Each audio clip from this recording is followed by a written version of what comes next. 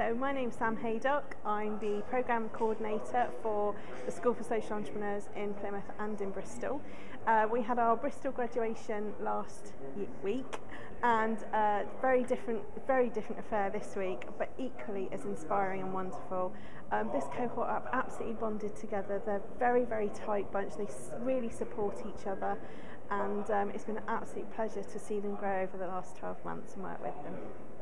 I just wanted to say many congratulations for a huge achievement in getting to this point. I remember when I first interviewed you when you were making your pitches to join this program and seeing how much you've come on is just stupendous. Uh, my advice to you is you've gone really well so far, but make sure you keep in contact with each other. It's still a tough road to go through. Getting through this program is hard work, but getting out and making this happen when you lose that support is even harder.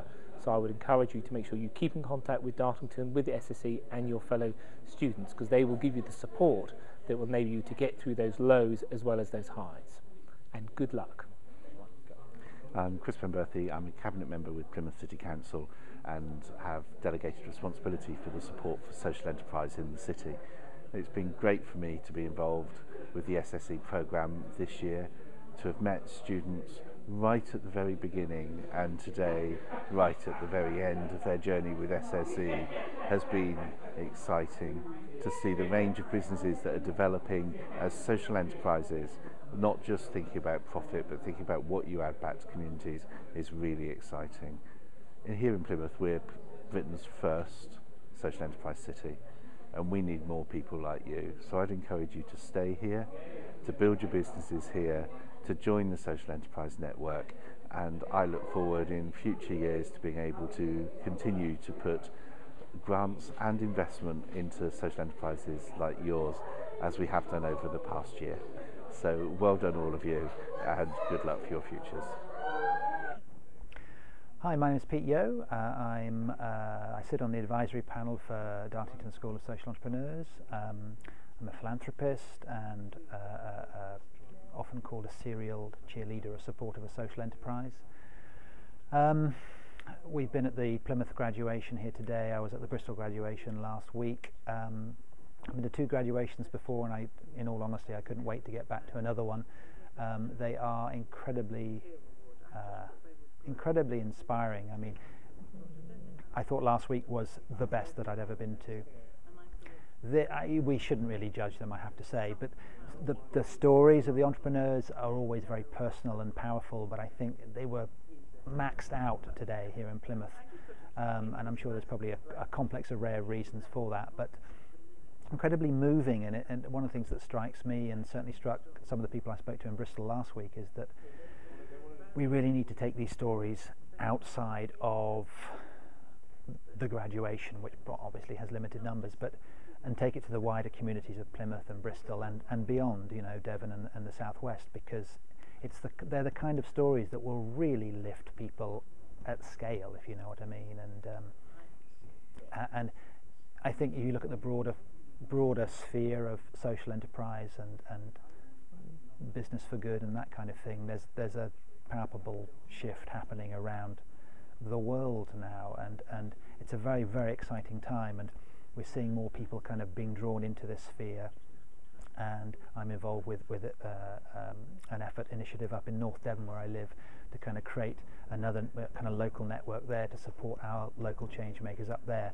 You know, all, all of this nested in, in, in, in larger larger spheres and, and networks. And um, yeah, it's a really really exciting time. And I, you know, I'm looking forward to the the sounds like there's going to be another short course in North Devon next year. They had the Dartington ran the first short course uh, up in North Devon this summer and went really, really well. And yeah, there's more of these amazing change makers are coming out of the uh, coming out of their communities to to build a better world for everyone, and it's it's a really exciting time. I'm Councillor Brian Vincent, Cabinet Member for Environment. I'm the Deputy Lord Mayor of Plymouth, and I'm here today because we've uh, been to the Social Enterprise entrepreneurs graduation, which was absolutely fantastic. And I've got to congratulate the 19 students who have done extremely well. Their projects are so creative and inspiring, and as a city, we welcome them with open arms, and they all should be incredibly proud of themselves Um, and I just wish them all the luck for the future. Yeah, for, obviously, I, I sort of, as from an environmental point of view, um, talking to some of the people there that were involved with environmental projects, that chap from Tor Bay with the trees, something I've been very keen to link in with for a long time anyway. So I've made that link now, personally made the link with that person, but also what other people have brought and, and shared with us today, their own personal experiences sometimes.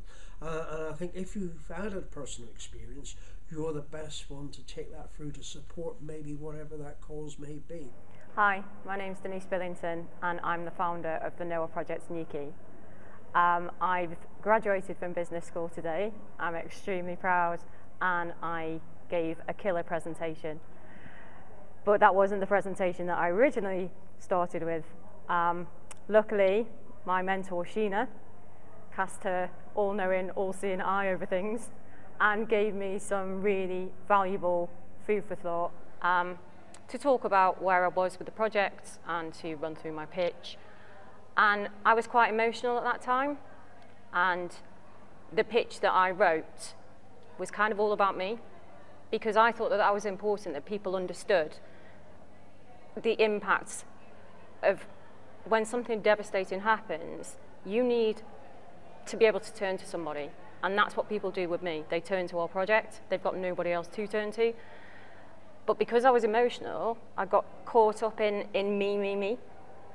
And Sheena sat me down really calmly and just said, that's great, that's relevant, but remember where you are, okay? You're in a room and you've got potential people who may want to invest in you, who may want to support you.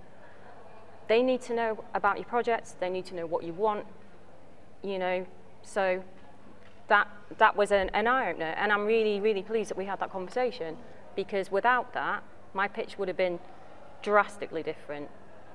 So. I think the thing for you, Denise, you, you clearly have got this lived experience, and as social entrepreneurs, it's really important that people come from an issue or, or they seek to uh, seek a solution to an issue they have experience of. That's where the power is. And Denise is quite right, you can get lost in that emotion. And although people might buy into the emotion, if you want to grow your business, if you want to spread the word and make life better for others, you need to be able to communicate what the impact is of what's happened to you. And I think hopefully at SSE will help people to look at their story, look at where they've come from, and really expand that out into how they're going to help others. And people in the audience, yes, they need to know what you're going to do, when you're going to do it, how much it's going to cost you, what help you need, and they really need to have not only your personal credibility, but the understanding that you can take this thing forward and you're not just a story. And as we've heard today, Denise is not just a story. Hello, my name's Kevin Frediani and I'm Fellow of the School of Social Enterprise. My uh, journey began two years ago on the programme and it's, I'm reminded of that today witnessing the recent graduates in just how far I've travelled. The journey began with a, a, a project that was realising vertical farming, growing food close to centres of, of consumption. Uh, I have used those skills to improve my communication about the story I was trying to tell to help that come to fruition and it's helping others to grow and I'm proud to say that that those I see projects now emerging in man, many of the major cities in the UK. Looking at today's cohort graduation, I realised just how how much the programme helps people progress. I saw some of them at the beginning of their journey, and they must have looked like me, naive in terms of their how far they had to travel to realise it, but with something of inspiration took them out of their comfort zone and said, I need help.